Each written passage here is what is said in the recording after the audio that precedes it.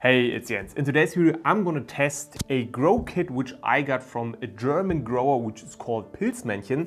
This is actually a 20 pound box and this is actually the first flush and I'm really curious how many pounds of mushroom we can get out of this 20 pound box. And as always, of course, I have also shot a very fascinating time lapse showing how the mushroom's growing from the substrate.